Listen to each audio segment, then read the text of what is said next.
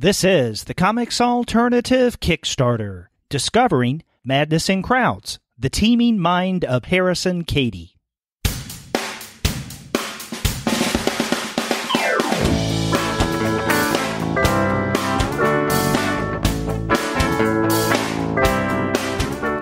And welcome to another episode of the Comics Alternative Kickstarter. This is the weekly program where I talk with a comics related Kickstarter creator about a project that they currently have ongoing. And this week, I have as my guest someone who is or should be familiar with comics alternative listeners. And in fact, sh- he should be familiar to, to anyone with an interest in comics. Uh, Denis Kitchen. Denis, how you doing? Hi, Derek. Doing great.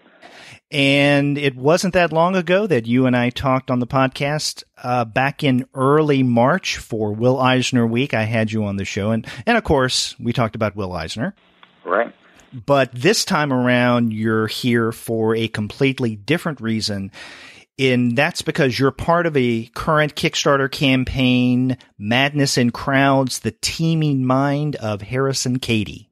That's right. He was an amazing cartoonist and illustrator who started uh, around the late 1890s.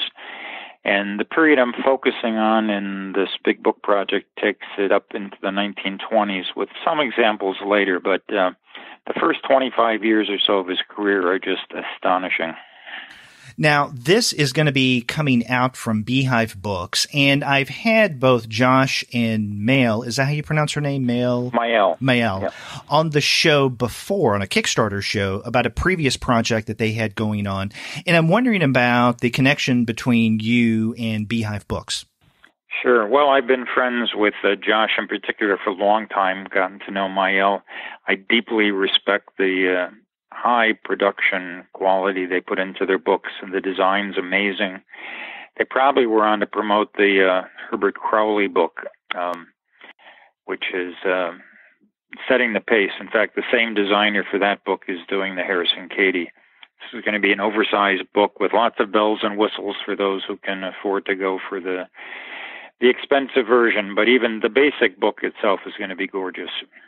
So I'm I'm very happy to be associated with Beehive. Yeah, and in fact, when I did have Josh and Mael on last year for a Kickstarter show, in fact, it was one of our first ones.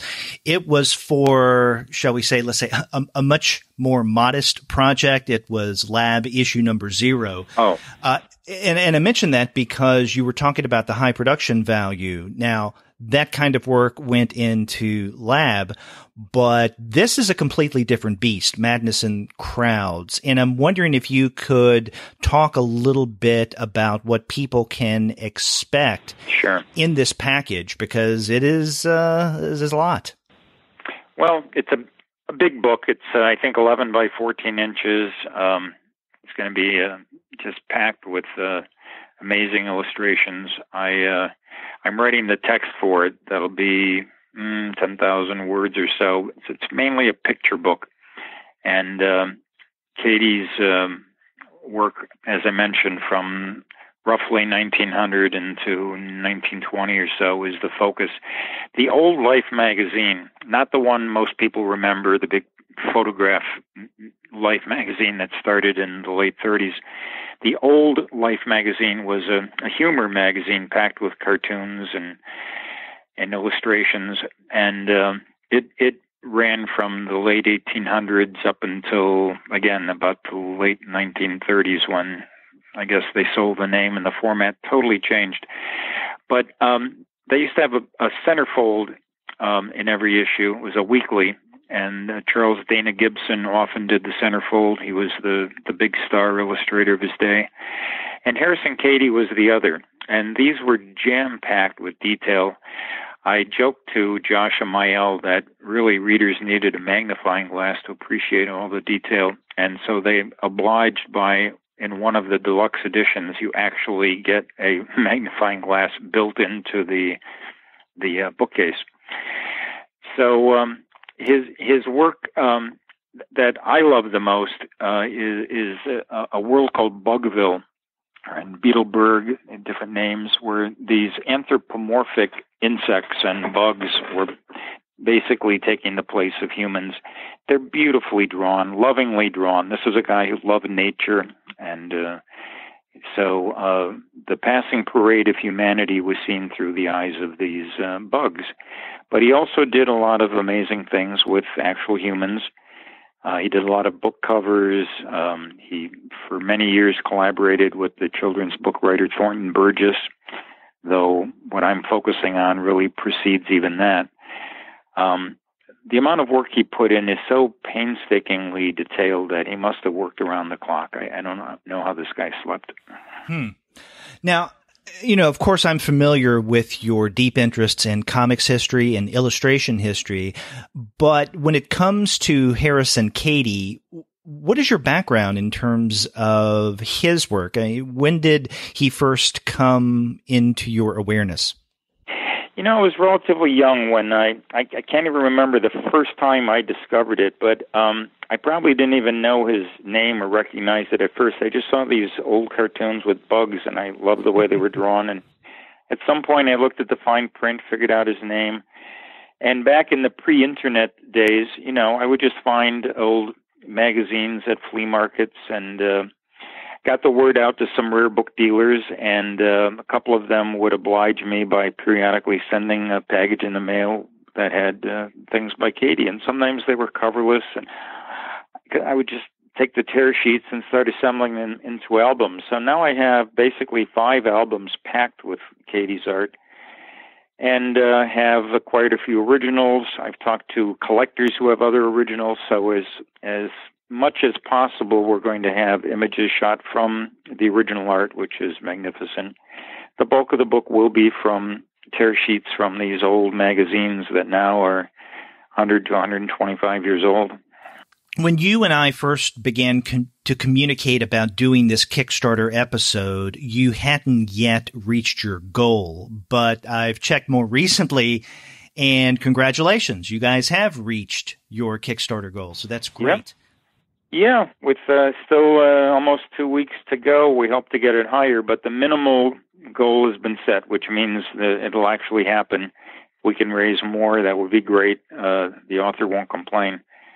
But um, but yeah, I was worried. You know, with these things, sometimes you sweat it out right up to the last day. So it's a relief not to go through that uh, that kind of a, a grueling end run. And we should mention that the deadline for people to back Madness and Crowds, the teeming mind of Harrison Cady, is Tuesday, June 5th at 11:59 p.m. Eastern Daylight Time. Is that correct?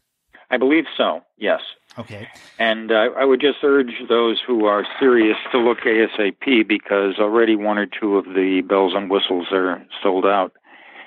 So, um, you know, um, but the basic book itself is is amazing, and I don't think anyone will feel um, it was a bad investment, even if you've never heard of this artist's name before. Uh, if if you're a serious comics fan, just take a look. All you have to do is take honestly five seconds, glance at the illustrations, and you're going to be sold. Mm-hmm. If you're not sold, then fine, you know. but it's just mesmerizing. Uh, the work will just draw you in. Um, and you'll understand why I'm an enthusiast. And, and there are many others too. I've been getting emails and calls from all kinds of artists who are thrilled this is coming out. Just in the last day or two, um, Bill Stout is a huge fan. Tony Millionaire, Gary Panter. Gosh, I'm forgetting offhand. So many um, that I didn't know were fellow enthusiasts. So Cady, for many years, is what I call an artist's artist, which is, um, you know, more artists are probably aware of him than the average fan. And once this book is out and in collectors' hands and some libraries, hopefully, you know, his legacy will be renewed. Um, he's been sadly forgotten for the most part for for too many years. Well, let's talk about some of the reward levels that people can back this project for. Um, tell us some of the basics here. Sure. I think for um, for hundred dollars, you get the the basic uh, hardcover book, which is a big, thick hardcover book that's that's gorgeous. For I think. Uh, I think, uh, boy, I don't have it in front of me, but I think the uh, the slipcase edition is uh, 250 or 350 and you get the slipcase. There's an edition that I think is sold out where I actually draw his bugs in my own style. I think that's gone, but there's one where you get three dimensional bugs. That one's pretty pricey, but you get the book, the bugs, the drawing by me, a tear sheet from a magazine from over 100 years ago. Um, and then there's some where you get the a 3D poster by Cady with 3D glasses. You get the postcards. Um, gosh, I'm forgetting offhand. I should have the uh, the Kickstarter in front of me, but but um, you know that's part of the fun is to go and see what the bonuses are. There's lots of uh, of sample illustrations in both black and white and color, and they're a teaser. If you like what's up there, you know, multiply it uh, by a, a high factor, and you'll get more of the same. It was tough just even picking uh, prototypical images because there's so many that Josh and Mael and I love. So we had to flip a lot of coins um, uh, to show the the dozen or so that are that are uh, on the Kickstarter site. For those who are also um, political, you should know that, that Cady, in many ways, uh, was a progressive in his day. He was a big supporter of women's rights way back before women had the vote. He was anti-war. He was anti-capitalist. Um, he had some flaws too, which I, I, go into in the book. I won't elaborate on now. Nobody's perfect, but uh, um, just from a draftsman's position alone, um, he's very alluring. And if you are inclined to care about the, the, the history, the times, the era he was working in, you see they reflect a lot of the political views of the time that he held. It's not just um, illustrations with funny animals and, and people. Um, his stuff ranges from highly whimsical and hilarious to deadly serious stuff with corpses on battlefields. Mm. So he was um, somebody I would also say was an artist with uh, the ability to have diverse styles. So if you had seen one of his very serious editorial cartoons and not noticed the signature, you would really probably never connect that to the guy who was doing the funny bug cartoons, you know, the more whimsical kinds of things. And you mentioned you were talking earlier about the various reward levels. Uh, you do have quite a widespread uh, of, of levels, so people can back this from anywhere between ten dollars to seven hundred. And although for ten dollars they get the postcards. These are what four four by six postcards that feature Cady's artwork. I believe so. Yes. Yeah. It's it's it's a way of saying thanks for those who want to help who can't uh, dig deep enough in the pocket, and and and I understand that. Believe me. Uh, when I was a young collector, there are a lot of things I couldn't afford either. Right. And then you do offer the digital edition for 25 bucks. But, you know, right. as you were describing earlier and the kind of, given the kind of books that Beehive does, the pledge of 100 to get the actual physical book, which is 10 by 14 hardcover edition, uh, is really where it's at. I think so. I mean, obviously I'm prejudiced, but it, it will be um, a mind-boggling book. And, and I, I dare say, too, remember, this isn't going to be a very high-run book. Uh, if you're a bibliophile, you love it, you have it on your shelf. But if, you know, someday you're down to the last can of beans, it's the kind of thing you can put on eBay and get more than your money back, I'm confident, because this is something that in the not too distant future will probably be unavailable and it'll bring premium prices. So what seems expensive now, I, I would argue, is really a modest investment.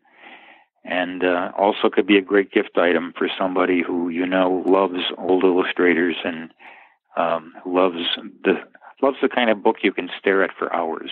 Uh, that I guarantee. If you break down your reading pleasure and divide it into that hundred dollars, um, it's going to seem really cheap because you'll pour over some of these pages. It'll be several minutes just to absorb what's in it, and then when you come back the next time, you'll see things you didn't see the first time. And if you didn't get the edition with the magnifying glass, you better have a magnifying glass because there's so much going on. And that's not to say it's hard on the eyes. It's very pleasant. It's just imagine yourself flying above a, a crowd scene and then zooming down. And within that crowd, there are all kinds of activities, amusing things going on. Just uh, you are basically the reader's eye is like the bird's eye view, and you just dive in and and you go to the next page and dive in again, and sometimes you're going to get a worm's eye view. Um, but it's just a richness of imagery. So there you have it, the Denis Kitchen guarantee uh, for speculation and enjoyment and appreciation. You bet. So, Denis, uh, I very much appreciate you talking with me, and everyone can back Madness in Crowds, the teeming mind of Harrison Cady, but you need to do so before Tuesday, June 5th at 11:59 p.m. Eastern Daylight Time. Denis, good luck with this, and I look forward to talking with you again in the near future, I'm sure. Thanks, Derek. Always a pleasure. And I'll be back next Saturday with another comics related Kickstarter project. Until then, enjoy your weekend.